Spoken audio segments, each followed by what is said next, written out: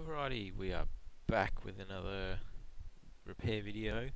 Today is something a little bit different. We've got a Nintendo Switch Lite here. We've got a couple of busted pads under the USB-C port. Now, only one of those pads actually matters because it goes to that little silver via thing or whatever it is. Uh, the other one doesn't appear to lead anywhere, so it's a ground pad, so I don't really care about that. But first up, just going to do some continuity checks. I think that's how you say it. If not, oh well. Just make sure that the other pads around it do work okay. They look okay, apart from those two. Just want to make sure though. So that multimeter's in continuity mode. Doing some beep beep beeps. That one's the ground pad. Don't care about that. Don't need to put anything there. This is fine. We'll leave that. The other one, however, definitely does need to be replaced. So bear with me here because I've this is the first time I've tried to repair torn pads like this. And I only just got the new pad strips in the mail the other day. And they're a lot smaller than I thought they'd be. I know it's micro soldering, but I thought they'd be a little bit bigger. So this was a little bit of a challenge. Um, but in the end I did get there. So I did skip ahead, skip ahead a little bit because no one wants to see me just fighting with a blank piece of copper sheets trying to get this one little pad off. But I did get it off in the end. And that's it there. So I was hoping it'd be a little bit longer so that when I went to put this solder mask on, there'd actually be something for it to grip to. But it is what it is. I didn't really know what I was buying or how big they'd be. So I did still try put the solder mask on, UV light afterwards to try and harden it, but I don't think my UV light's actually strong enough. It's a cheapy little thing. So I did try just solder mask on the bottom and the top. Try and hold that pad in place a bit better.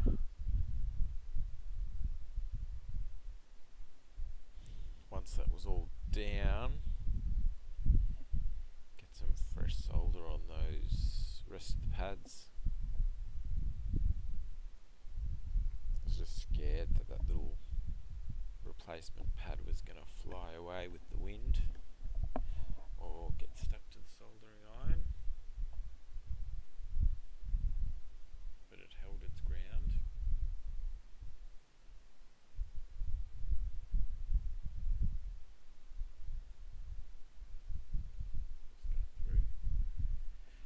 Fresh unleaded solder on the rest of the pads. Slowly, carefully, because I'm a noob. I did put flux down first, which I think you saw.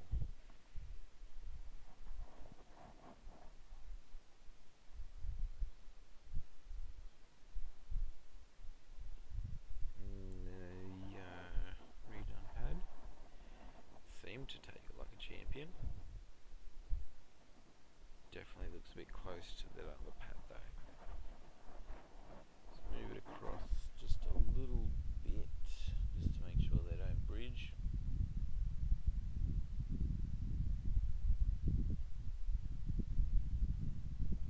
These things are seriously small.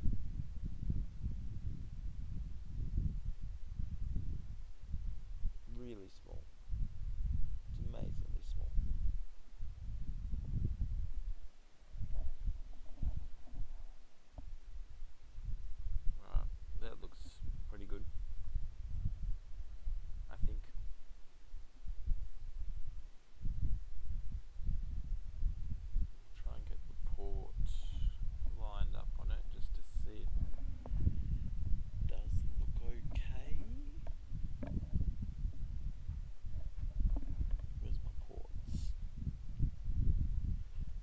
ports I did buy were off a regular switch, so they do still fit. However, they're a bit longer, and you need to modify the casing of the switch Lite for them to fit. But it looks like all the pins line up, which is a good start.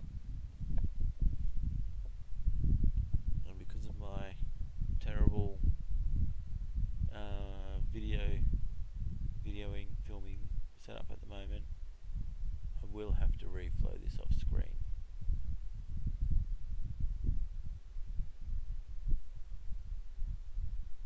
I wanted to do it from the bottom. I don't want to burn the battery connector next to it. Anyway, that was all good and done. I plugged it into my amp meter and I got zero amperage being drawn to the battery. So given it had a dicky USB-C port, there's a chance that the M92 got blown up or whatever happens to it. So we're just going to replace the M92 as well did look good and voltage was coming in uh, after that port but still zero amps being drawn by the battery. So this is only like the second time I've ever opened a switch. So this was a bit of a struggle.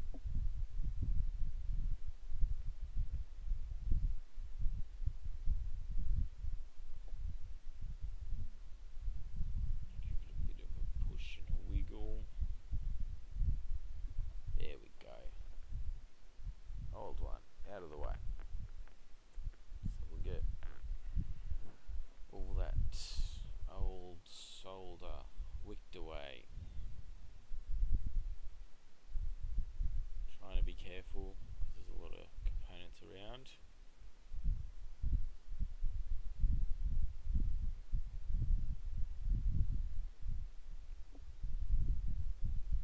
Looks alright.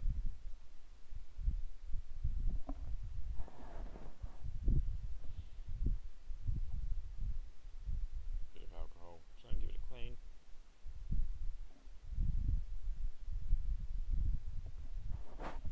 Beautiful. That good. Fresh flux.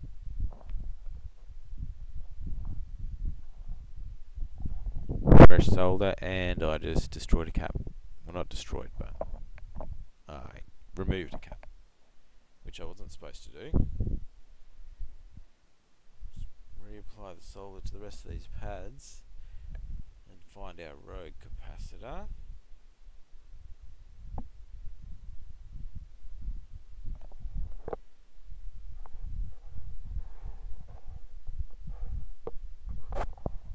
And again, that thing is seriously small.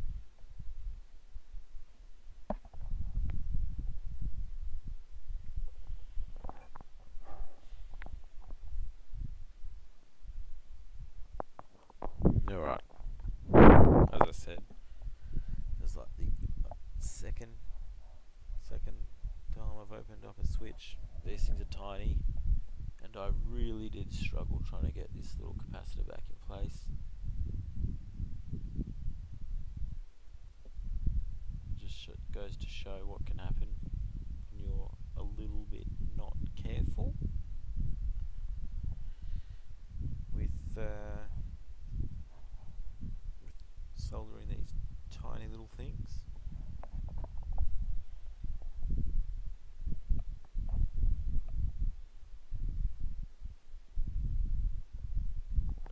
Looks in place,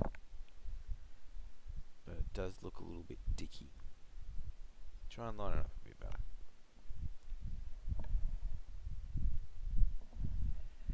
You always see that when you put flux down, good flux I should say, and you use the uh, heat station to reflow these things, they usually do a bit of a little flux dance where it finds its little home position on its own in a way.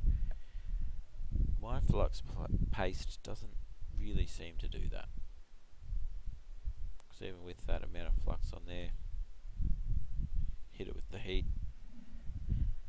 and it just doesn't quite lance and, and go to its home position. So I think I need to look into investing in some better flux, not that weird pasty stuff. But anyway, capacitor's back in place. trying to get this M92 back down in place. Didn't quite look centered.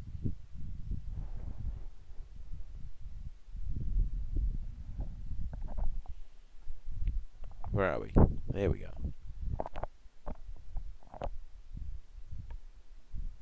Trying to just get a peek at this. Oh, that doesn't line up quite right, does it? Looks a little off. Looks a little off. Try this again. More flux. Fluxy paste. Terrible pen. Heat not doing the dance like I wanted to do the dance. Try and push it by hand. That seems to line up pretty good. Again, apologies for the terrible quality of the microscope, but it's just a cheapie off eBay. Just a cheapie one.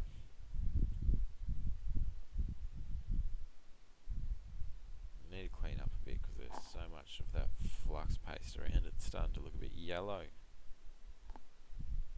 Wee wee wee wee. So yellow.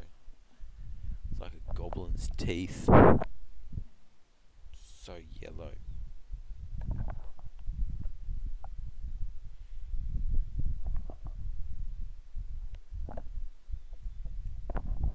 Just plugging it into the amp meter to see if it's doing anything.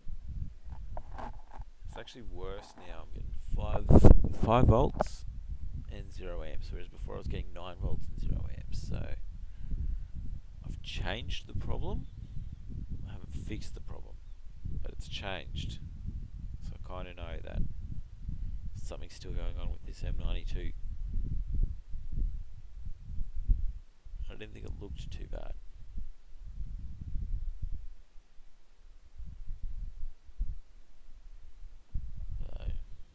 I forgot to put the, the solder on the legs of the USB-C port before. This video's a little bit all over the shop. I had a few distractions when I was trying to get this video together. Kids, dogs, females. Put the legs on.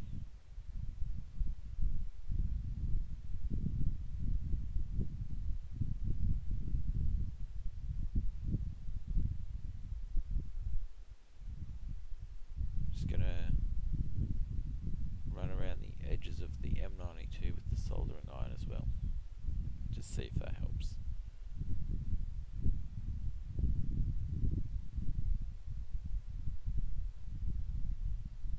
Make sure there's still flux on there too.